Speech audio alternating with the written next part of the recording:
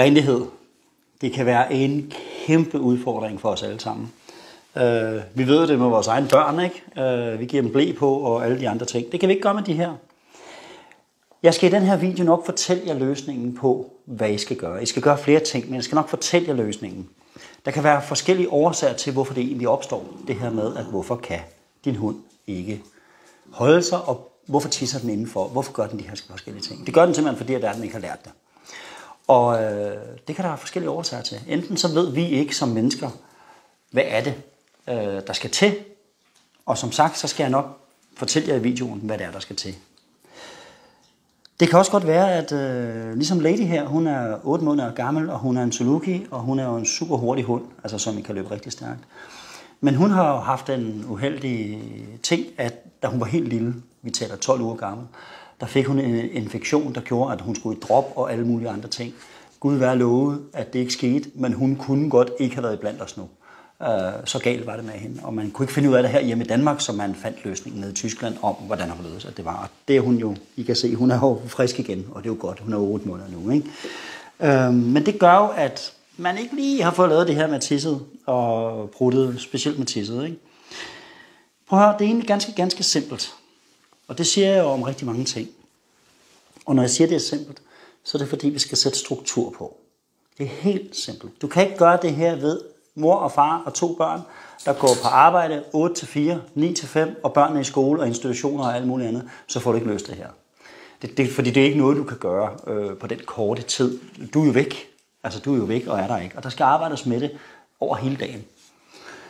Det man gør, det er jo, at, øh, at øh, det vi har gjort med, med Lady nu her, det er, at, at og hun er ikke færdig, skal lige sige. Hun er slet ikke på plads. Hun er i gang med at blive trænet, og der sker også svipser. Men lad os fortælle om morgenen her. Øh, klokken er 6 om morgenen.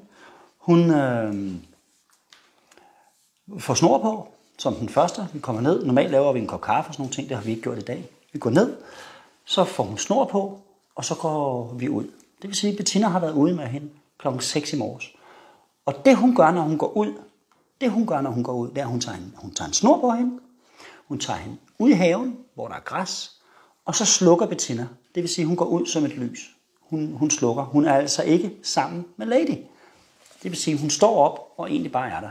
Til at starte med går hun lige lidt rundt, så, så, så Lady hun begynder at snuse ned i jorden, og så stopper Bettina, sætter sig ned på huk, træder på snoren, den er jo to meter lang, træder på snoren, bare sådan der, og så sidder hun sådan her på hook, hvis jeg sidder dernede. Og så kontakter man ikke hunden. Og selvfølgelig vil hunden komme hen til os, ligesom, hmm, hvad skal vi? Ingenting.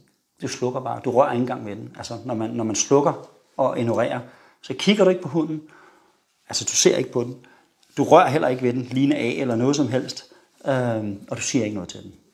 Og det er de tre måder at, at ignorere på, og det virker. Og det virker, fordi det er det, hunde gør ved hunde. Så det kan vi også lige så godt gøre. Så opgiver hun ligesom, ej, var du kedelig. Øhm, og så står hun der, hvad, hvad skal jeg så? Så i løbet af 30 sekunder, så begynder de jo at snuse igen. Hun prøver jo også at få det her til at, at, at komme i gang, ikke? Altså, men de ignorerer han jo bare. Og så lidt smiler en gang, når hun siger, hey, mm, gå lige væk, ikke? Øhm, så i løbet af de her 30 sekunder, så sker der det, at når, når hun har opgivet med, at hun ikke kan være sammen med os. Du kan godt se, lige nu leger hun jo med de andre, eller vil gerne lege med de andre, ikke? Øh, og Smilla siger, det gider jeg ikke, fordi leg herindenfor, det er ikke tilladt. Sådan er det. det. Vi løber ikke rundt her og leger. Det gør vi ude i haven. Det gør vi ikke herinde. Så giver hun op, og de 30 sekunder gør så, at så begynder hun at sige, så kan jeg lige så godt lave noget andet, så begynder hun at snuse. Og så går der et minut eller to eller tre, så tisser hun. Og det gør de. Og det, for de skal jo tisse. Det ved vi.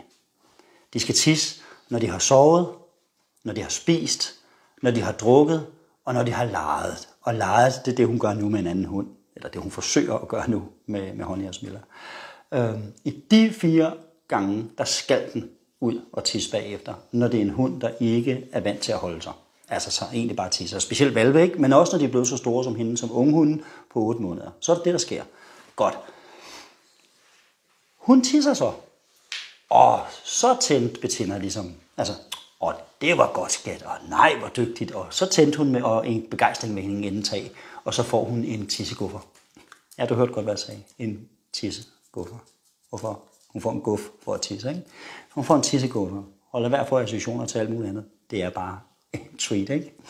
Så får hun den, og så går hun ind, Bettina. Så rejser hun sig op, det er efter begejstringen der, som tager 4 sekunder, 5 sekunder. Så går vi ind, og så ind igen. Fordi hun, hun er nødt til at sammensætte det her med, hvad er det, jeg skal ud i den have? Jeg skal ikke lege, jeg skal ikke noget, jeg kan ikke noget. Du fratager mig øh, alt muligt ud over to meter rundt om dig selv. Hvad skal jeg? Du skal ud og tisse. Og det er det, hun skal sammensætte med. At lige snart du er færdig med det, fint skat, så ind igen. Altså ikke noget med at begynde at lege med hende og sige, ej, hvor var det godt skat, og nu kan vi gå, gå en lang tur. For det er ikke sådan, man gør. Og det her, nu tissede hun jo kun. Det vil sige, hun har ikke lavet stort. Faktisk så vælger Bettina at gå ud igen kl. 7. Øh, fordi hun visker, hun har ikke lavet stort. Så går hun ud med kl. 7, og så laver hun nøjagtigt samme nummer, som jeg lige har fortalt nu her. Og så fik hun tisset, eller pruttet på, øh, i løbet af et minut. Og det er fint, og så ind igen. Altså, ej, hvor er du dygtig, skatter. Ej, en god for alt det her. Og så ind igen. Så hun får forståelsen for, og opfattelsen af at sætte det sammen, at jeg er ude, jeg tisser, min familie bliver glad, og vi kommer ind igen. Hun skal have forståelsen af, at det er udenfor, vi gør det. Vi bliver ikke glade indenfor. Indenfor bliver vi heller ikke sure. Uh, glem alt det der med, at du er pisse sur på hunden, og så kan den lære det, du ved, at hovedet ned i tisset, og i prutten, og i hvad fanden ved jeg, og skælde ud og alt muligt andet. Det hjælper ikke. Hunden bliver bare bange for os, og hunden bliver bare bange for, for dig så, og, og det her gode forhold, som vi egentlig skulle have. Så det handler om at kan ignorere den. Det er skidesvært. Du bare tør op. Det er fordi, vi har gjort det forkert. Andet er det ikke. Det er derfor, hunden gør det indenfor. Og i hendes tilfælde er det fordi, at det er, hendes tarme har simpelthen været fuldstændig udu, og det har de. Jeg var der selv, så jeg har set det. Øh, jeg, det var faktisk mig, der tog hende på hospitalet. Så, så øh, jeg er klar over, øh, hvordan det var. og hun lignede noget, lignede en grøntsag, der var altså fuldstændig uskidt æblegrød, ikke? Men det er måden at gøre det på. Det du så skal, det er, at kl. 8 tilbød jeg hende. Det vil sige, nu har vi gjort det kl. 6. Succes, hun var ude at tisse. Kl. 7. Succes, hun var ude at prut. Kl. 8, så tog jeg hende og gik ud, og hun lavede ikke noget. Og jeg var derude i 10-12 minutter, ikke? Og ventede på det her. Hun lavede ikke noget. Det var bare for at være sikker på, skal du igen, eller skal du ikke? Så venter vi så.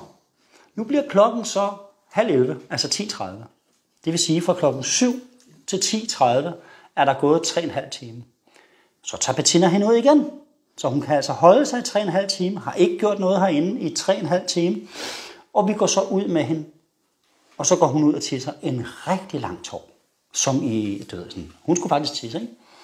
Øh, der havde hun også fået mad i mellemtiden, og hun havde selvfølgelig også drukket lidt. Øh, og vi holder så nøje. Når jeg siger, at det er, at de skal ud lige snart de har drukket, så er det ikke fordi, de har taget tre tårer af vandet, og så skal de ud og tisse. Fordi hendes blære er jo større end en lille valg på 8 uger. Ikke? Så det kan hun godt holde til. Men er der en på 8 uger, så bare ud med den. 3-4 tårer af den der vand der, så ud med den. Men nu er det altså en, der er blevet ældre og har en større blære. Ikke? Hej det er fint. Øhm. så det er helt simpelt, som du skal gøre. Og det vil sige, det skal du gøre hver dag i x antal tid. Og når jeg siger x antal tid, så er det fordi, at det skal gå hen og blive en vane. Og husk på, som jeg altid siger, det tager 21 dage op i din hjerne at bryde en vane og lægge en ny. Det tager det også i hundens, det tager det også i hestens, og det tager det i menneskets hjerne. 21 dage, men du skal med være på i de 21 dage. Ja, du går smide. Så, hvad med dig? Øhm, nej, ned. Smiller ned. At du skal, være, du skal være på i de 21 dage. Det vil sige, du skal være der. Det vil sige, du kan faktisk ikke gå på arbejde øh, i det her. Eller så skal du få nogen til at gøre det for dig. Øh, en ven, øh, din familie, hvad ved jeg. Men det er sådan, man skal køre det. Er det hårdt arbejde? Ja, det er hårdt arbejde. Mentalt er det hårdt arbejde, fordi du har det hele tiden som top of mind i, i, i tankerne omkring det her. Men du vil gerne have det løst. Og det er faktisk en simpel måde at gøre det på. Men det er hårdt arbejde. Men det er simpelt, det vi skal gøre. Og det er bare at tage det lige så stille. Hey, lady. Nej, det vil sige, nu bider hun lige lidt i det der. Ikke? Så siger jeg, nej, det skal du ikke. Øhm, det er kedsomhed, ikke? Og så skal hun selvfølgelig have et ben at ligge tykke i, stedet for. Det er klart. Øhm, men det er måden at gøre det på. Og prøv at høre, det er faktisk keep it simple. Og du kan se det, hvordan jeg gør det med en valg. Du kan se, hvordan jeg gør det med Wendy øh, inde i vores VIP Academy. Der kan du se og følge hende og se, hey, hvordan, også med nogle andre valg, jeg har gjort det med. Hvordan gør man det her helt fra starten af? Og så bliver det altså rimelig sådan her. Det tager ikke 21 dage. Det tager faktisk kun lige en lille uges tid. Så er de renlige. Så det var bare det, at jeg egentlig vil sige til jer. Det er måden at få din hund renlig på iskoldt, super simpelt, men med struktur på. Så øh, god arbejdsløst til jer derude. Så vil jeg jo arbejde videre med, jeg skal jo arbejde med hende i en måned omkring de her ting, og det gør jeg så. Så vi ses, og god arbejdsløst.